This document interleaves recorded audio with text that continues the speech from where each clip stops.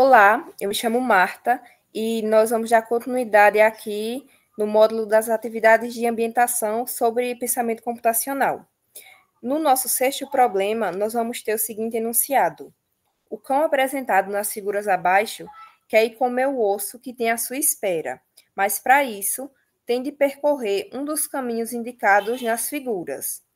Sabendo que nos cruzamentos ele vai ter de virar exatamente três vezes à direita e duas vezes à esquerda, qual é o caminho que ele vai ter que escolher? Ainda aqui ver um pouco sobre a resolução do sexto problema, nós temos que entender a lógica que o cachorrinho vai ter que seguir para conseguir chegar no objetivo final dele.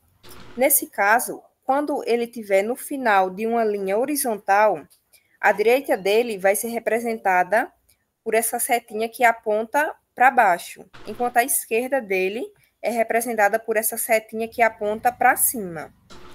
Já quando o cãozinho estiver na posição final de uma linha vertical, a direita dele é representada por essa setinha aqui que aponta para a nossa esquerda, enquanto a esquerda dele é representada por essa setinha que aponta para a nossa direita. Porque a gente tem que entender que será sempre a perspectiva dele é sempre o contrário da nossa.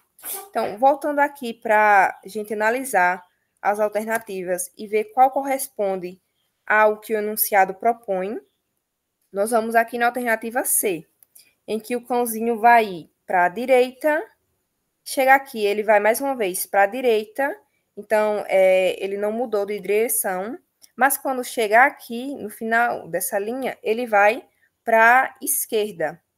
Então, aqui novamente, direita, aqui mais uma vez ele vira para a esquerda e finalmente mais uma vez para a direita. No nosso saldo final nesse caminho, a gente vai ter direita, esquerda, direita, esquerda e direita. Ou seja, ele foi três vezes para a direita e duas vezes para a esquerda. Então, essa alternativa corresponde a o que o enunciado nos propôs aqui. Mas para a gente ter uma confirmação, vamos analisar, por exemplo, a alternativa A. Pãozinho vai aqui para a direita, beleza. Chega aqui, ele vai mais uma vez para a esquerda, novamente para a direita, esquerda, e por fim, ele vai mais uma vez para a esquerda.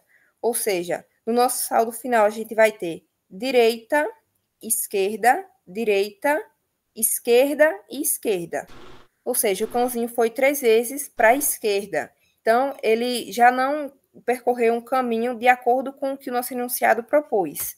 A alternativa A está incorreta. Na alternativa B, por exemplo, nosso cãozinho vai ir aqui para a direita, depois ele vai para a esquerda, esquerda novamente, então ele vai para direita e, por fim, para a esquerda.